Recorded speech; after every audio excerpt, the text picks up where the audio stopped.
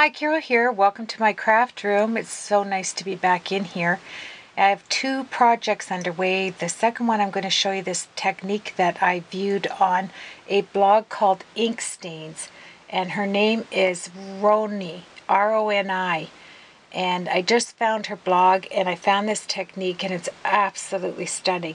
So I'm going to give it a go. And I wanted to give credit where credit was due, and that's where I found it and um, finished with my second card I'm going to enter in the blog over on Catherine Pooler's site at uh, Stamp Nation. And remember I wanted to cover that split I had with the lace technique. So I made a little sash with some mesh, put some bling in there, put some diamonds around it with some silver uh, silver heart here, you know, because it's a heart, it has little hearts going around here. And then the key and the little strands of glue are just free. Uh, you have to pick those off. I put a little bit of bling down here. The I love you went here. And I'm just going to leave it just like that. I'm not going to, I think, I'm not going to overdo it. I think it's well, well enough alone. And I got a little bit of a haul, but this isn't what I'm doing. The card I'm doing is using gesso and my stencils and gelatos. So, um, but I'm going to throw my haul in here very fast because I am so excited for our Walmart here in town. They're not a super Walmart. They're just, you know, the average Walmart. And I went in today and this isn't what I went in for, but um, of course, I had to check out the scrapbooking stuff because they're really growing with uh, things and, you know, supplies. And so I love these Lily of the Valley. Look at these. And they were were a dollar and they put them on for two two for dollar. So I got some of these. Are they not cute? I love Lily of the Valley. I can't even tell you how much I love these. The smell is out of this world. And um, so I bought some of those. I just put them on my flower rack here. Put them back. There we are. And I picked up some double-sided tape. Remember, this double-sided tape is $2. And I want to see, I think my camera can come down just a tad here like that. Okay, so I got some of this tape and I didn't get a ton because, you know, I just placed my Stampin' Up! order. I have now officially officially joined Stampin' Up! So I put my my order in there and um, so I'm going to be waiting for that. So I didn't really want to spend too much after doing, you know, place enough a Stampin' Up! order. So I bought these metal embellishments. I just, look at this. For metal embellishments, they were $3.99. And these are stunning. Look at, this looks like my sewing, my new sewing machine I haven't picked up yet. Um, I have to go pick it up. That This is crazy. Paid for and it's sitting not picked up. I had it sent to uh, a friend, so I have to go over and get it. But anyway, it has the thimble, the sewing machine, the dress form, the thread, and the scissors, all in metal. I mean, I just love it. And so I got that one. I got a corners one. There's eight pieces. Uh, got that. Oh, and then I am going to, this is by Blue Moon Beads. These were on, I think they're $1.50. But anyway, they're necklaces in there. And I'm going to do my bottle cap things. So I need, you know, I'm whatever is shaped like a necklace and it's 16 inch, which is really good. And it's that little thin leather. Um, you can see it there. Thin and thick. Really nice. And another corner edging. I mean, $4. It's metal. I know you pay more than that for the Tim Holtz one, and these are really feminine, like really pretty ones too. I have his, so I'm not partial, but look at this. Has the owl, the clock, owls, uh, clocks, uh, buttons. Just beautiful. So $3.99, I thought that was a good deal. But here's what I really liked. Um, I picked up, now I have the acrylic blocks by Stampin' Up. I have a lot of acrylic blocks, but I really like the Stampin' Up ones because they're nice and thick and they're, they have that groove in them. I wouldn't switch from another acrylic block. But what I liked about this at Walmart uh, was the fact that it is, it's thick enough. It's not really thin. You have a good grasp on it, but it has the curved one with the curved lines, which makes it really easy for your polymer stamps. And, you know, I generally just put them on, you know, shape them, then put my acrylic block down and stamp it and see whether I have it on there properly. But look at this block. It was $6 for two. I thought that was a good deal. So that's all. I think got some makeup. I don't think you want to see my makeup. And uh, that's what I did today. I stopped in and came away with that. Oh, and my makeup down there. Haven't even put it away yet. So I'm just jumping right in and let's get on to this technique here. I just loved it. So I want to see right where I'm working, right there. Okay, so I'm going to do it because the gelatos I'm going to use, see this is my little chemistry lab where I keep my gelatos. They're actually in, let me just show you. I've shown it before, but I just think it's so cute. Let me take this off. I kind of have that cargo thing on there because I want to use it. Just makes me remember. But isn't this sweet? It has a heart on the top to put your cards if you want up here. And then it has test tubes and it's spin. Look at test tubes. So I get to put, that's just the one pack of gelatos. I don't have any more. But I found an awesome stamping place in Buffalo, New York. And I didn't even know it existed and I found it. So soon as I can, I'm going to go over and check it out. But anyway, um, let's get on to the gelatos I'm going to use. I'm going to use blue, white, uh, hmm, pink, because I, I used the Stampin' Up! Black, Stampin' Up! What blue is this? All I have to do is look. I think this is Tempting Turquoise. This is Pretty in Pink. And I folded it, I made a fold going down, and the fold is four and a quarter by five and a half. Yeah, and then I just measured the rest downwards in the black piece. Uh, my Stampin' Up! Um, trimmer needs new blades, so I ordered those today because it's nicking and, you know, it makes me want to distress it, and I'm trying to do this card without distressing it. So let's see, this, this, this. Um, I need to choose another color. That's a different pink. Which pink goes better? This pink goes better. And um, let's do yellow. This pale one. There we go. Okay. Put my uh, test tubes away. There we are. All right, so you need gesso. You need some paint brushes. Um, you need some water. Let me grab my water. It's just on the other side here. right here, some water, and a stencil. So because this stencil, this page, and you want it black, a black sheet. This is Stampin' Up's black cardstock. I ordered more today.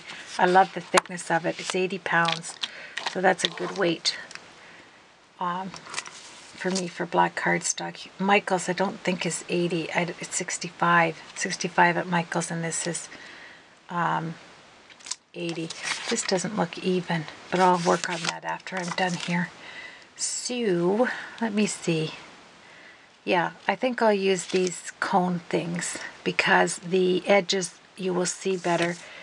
Um, this is too big. I could use this one. Um, um, boy oh boy. I really want to see the gesso. So, yeah, that one. Okay, there we go. I should have picked all that up without wasting my time on here, but I didn't. So you want to tape that down on a surface, which is going to be my craft mat.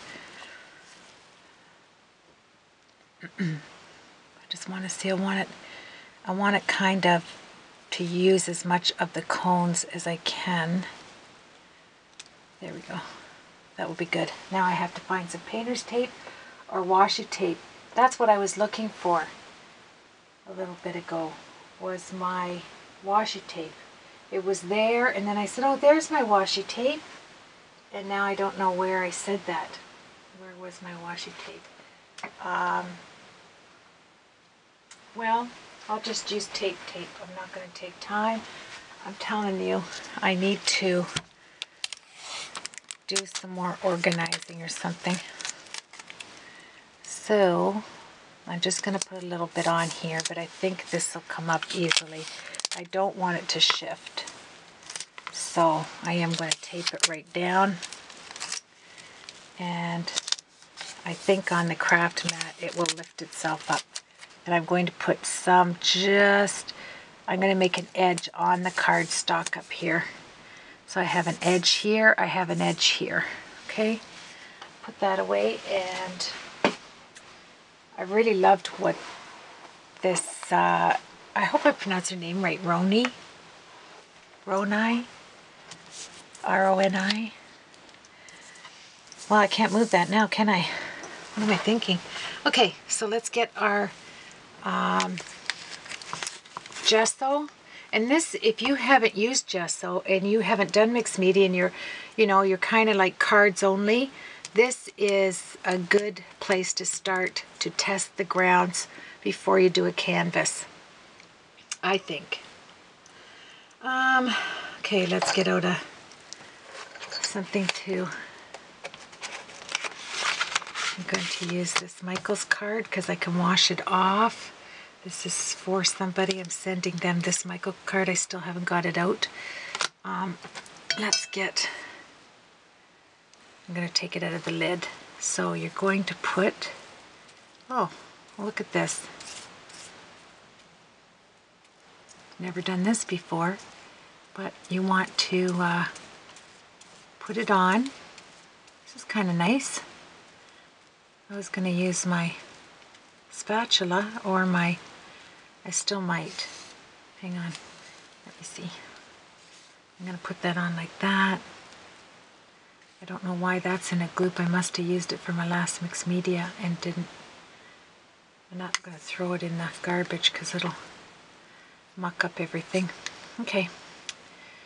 Ah, oh, feels good to sit down, let me tell you this better download. I am really getting tired of, um, I have a new spatula. Look at this, I'm using this. Oh well. Um, oh, that's nice.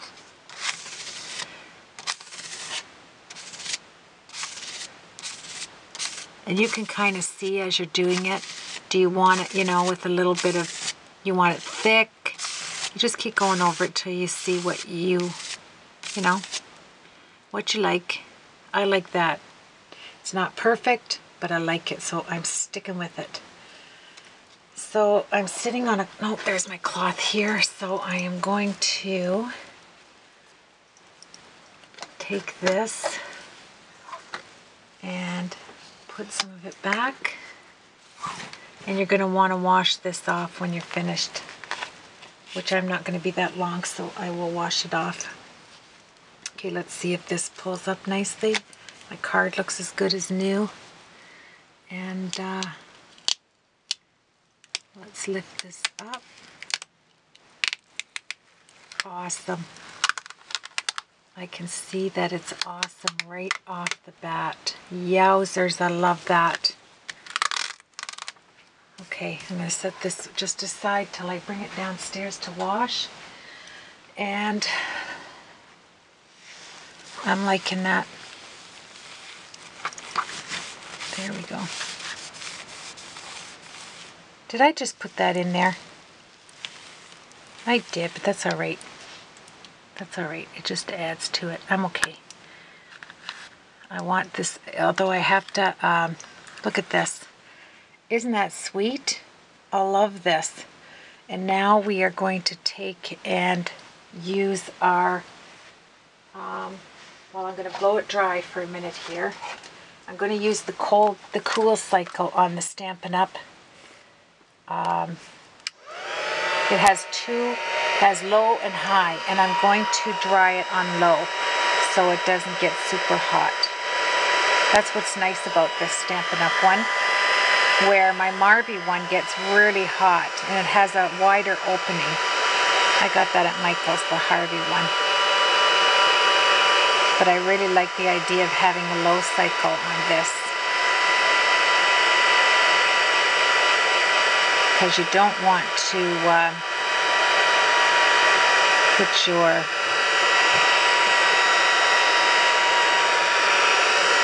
gelatos on wet gesso. Gesso and gelatos, perfect match.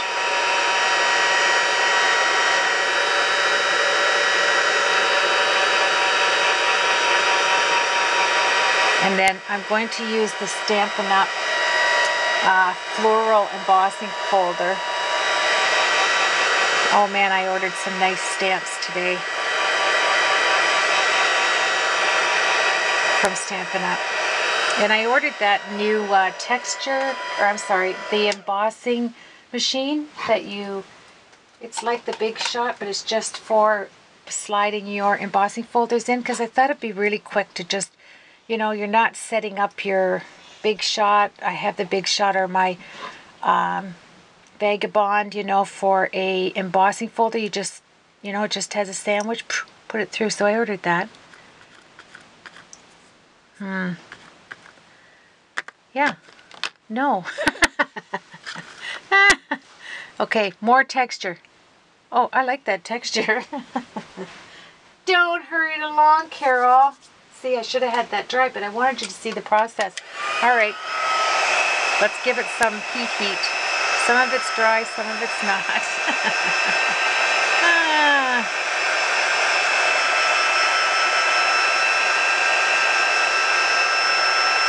We've had such bad weather, I haven't been out doing anything. It felt good to, like, you know, go to the bank, go to Walmart, I've literally been a hermit since my accident.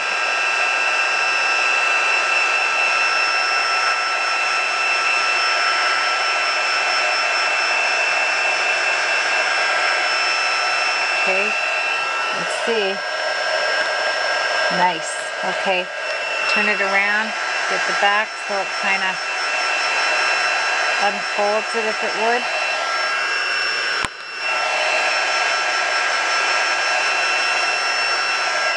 Go. Okay, so let's just see how that works out.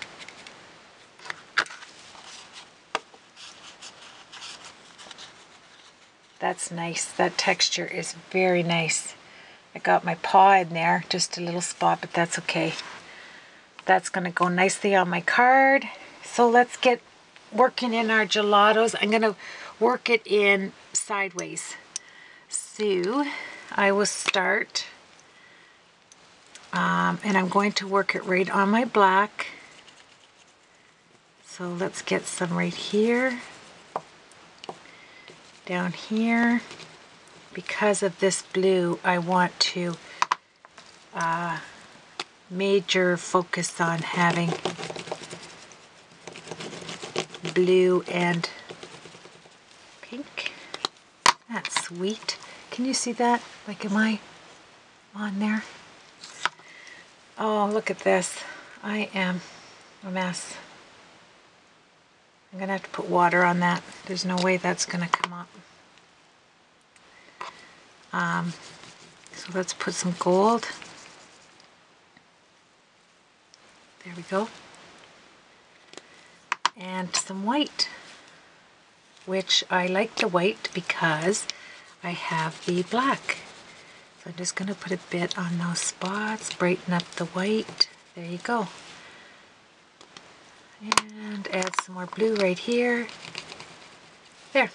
Then you're going to take water and a paintbrush and your bottom base is complete. Sticking my hand in the water to see if this gesso will release itself before it's like permanently on my hands. Let's just see. Probably is, but I'll spend all my time cleaning my hands up. But if I touch this um, project with gelato all over my hands, dipping in my water, there we go. There. Okay. I'm going to grab a paper towel because I already messed that up. Sorry I'm not prepared more, but okay. There, there. I had it everywhere from putting my hands in it and I don't want to mess up the surface here. Okay. Let's keep going here. Look at how pretty that looks. Okay, so I'm not going to use that one. I'm going to grab another paintbrush. You can use your uh, your um, blender, uh, your water pens. I have them over there, but this was the first thing I grabbed. So, um, and this is why, um, um, this is why it's good to have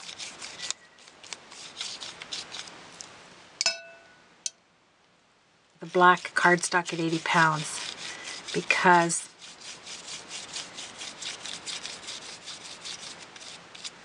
this is pretty.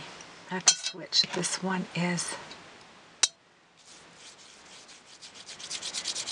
has some hairs. It's funny because it um, actually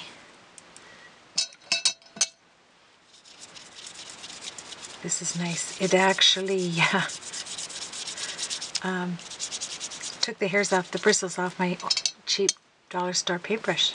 Yeah. So you can tell a good paintbrush from a not so good paintbrush. All right. Don't panic. It's not going to look like this. No. I'm going to have bright pink because that pink was just a bit too mild. Better. Better. There we go. All right. I want the strokes all going in the same direction though. And if you don't want to roll out, um, you know, muck up your colors, don't back up into the same color and then go over your other colors like you don't know, but I thought I'd just mention it.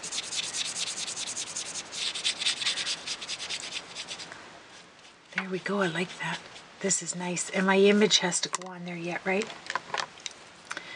Um, I don't have a darker blue. So let's add some more blue. And I'm not going to add as much water. I think I'm going to do the baby wipe on there. Um, this is coming out really pretty, really pretty. And this technique is so nice. Then I'm going to put my white, uh, well, I'm going to run my, let me just show you. This is the, this is going to be my image on there. I'm going to use just the rose. What is with my lights here today? It's really bright, isn't it? Maybe I'll focus up like that. This is really nice uh, Manhattan flower. I got this when I first started stamping Up! way back when, a year and a half ago, and I've been away six months. And um, yeah, I'm going to soften the gold up because I want the, the, this is a baby wipe. I want the blue to stand out.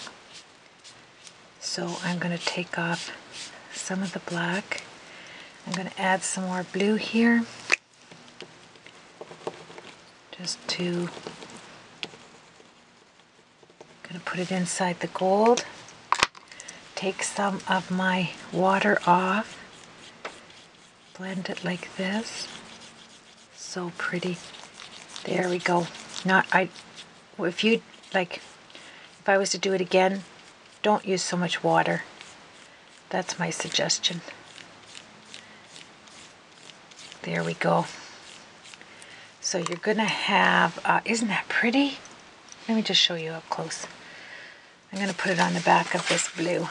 So you see the blue, and you see the pink. And then I'm going to come back because my haul took a little bit of time and showing you my card.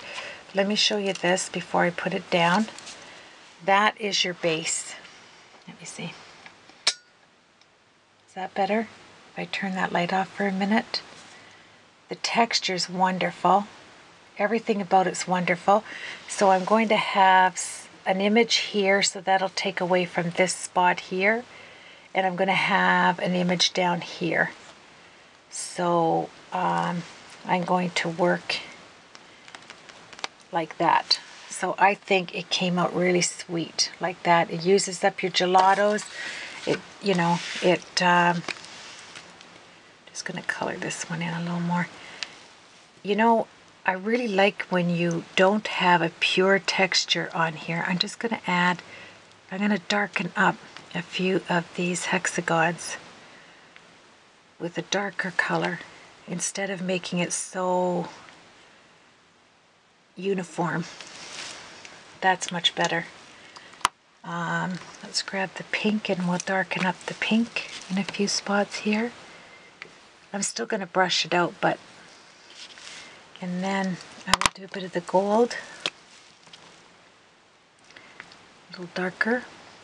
You don't want everything the same. Doesn't give it any texture on there like this. Okay, so then you can just take your paintbrush where it's not so wet and don't forget to go over to ink stains if you want to see it done properly. I shouldn't say that because you know what? We're unique. All of our work is our own special touch and I love what she did there. It gave me some inspiration to do this card right. So that's good. And um, as soon as I get my Stampin' Up! order in, which would be the end of next week, I will be posting on Stamp Connection. And you will see my videos there. Looking forward to that. Let's add some pink up there. Okay, so I'm going to do the second half and let's just get this down. Might as well while we're right here. It's just killing me not to um, not to distress. Really it is, but I'm going to do a nice crisp clean card. And uh, this is the dimensional, 6, 116th, but they're black from Jody at the Sticky Stuff store. If you're looking for black dimensionals that are wonderful, the Sticky Stuff store, check it out. And I only need the black on this black, and then I'll use the white no, I'm not gonna, I'm only gonna put the one up. And they have all different shapes and sizes at the Sticky Stuff store. So go over and check it out. One there. One there. I don't need to use that much. So just cut them off. So you want half and half